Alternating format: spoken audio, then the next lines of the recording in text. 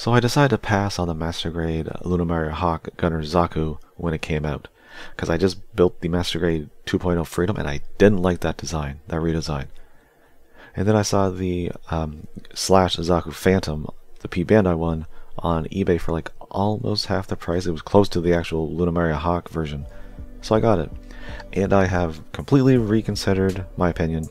I really like it. It's not that different. It's like enough I think it, it, to me it gives me a kind of super robot ro uh, super robot vibe in terms of like the proportions and everything. And I really like the colors here. I like the uh, the soft blues with a little bit of orange for like thrusters.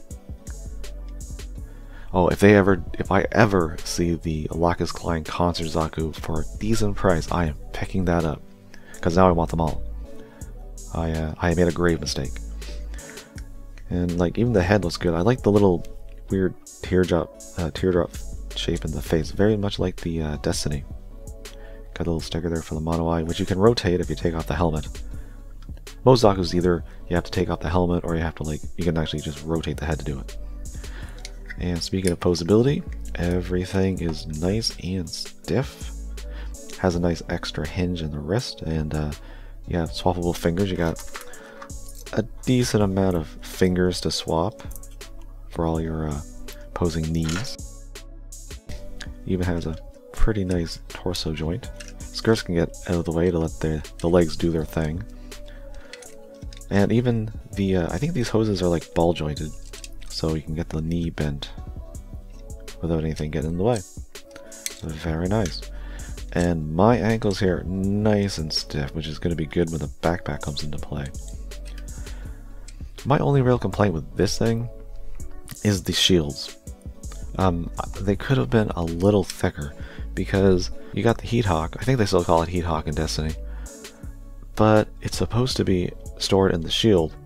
You see, like, they like to reuse their animation where you have the shield comes out like this, and then the axe pops out, but there's nowhere to put it in. Like, they couldn't have thickened it a little bit. Once again, it's a redesign. It's not exactly like it is in the show. So you could have done that. You could have made it a little thicker, the black part a little thicker, or the uh, white part here, and had the uh, the axe stored because you know you just take these parts out. I don't know why they didn't, but they they didn't. So that's kind of frustrating. Like I think they missed an opportunity. So that's one thing I really don't like about this uh, kit. I think that's pretty much it. And you get the beam rifle, which I keep wanting to call it a machine gun because that's what the Zaku 2 is from Universal Century, but no, it's a beam rifle.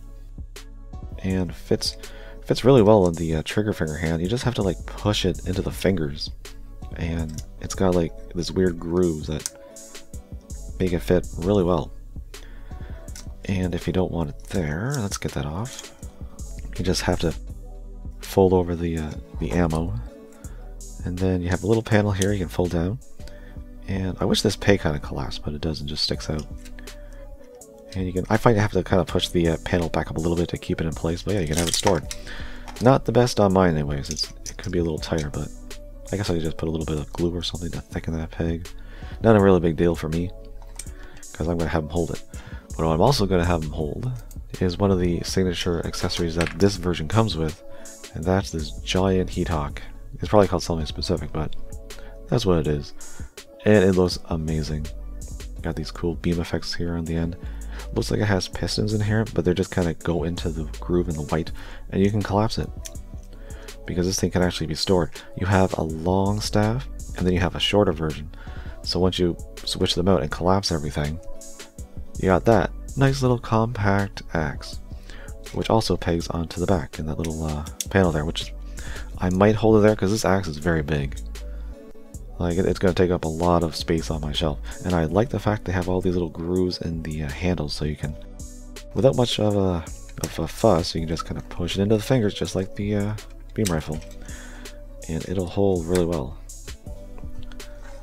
That looks cool. Maybe I will display it with this because I really, really, really, really like it. And the final thing that it comes with, oh, I did forget, you get two of these. You get two of the little axes. So dual wield axe. But yeah, you get the backpack, the wizard pack for the uh, slash Zaku Phantom. These cool Gatling guns on the back. Which you can pose them, you can move them up and down. I like move them in and out.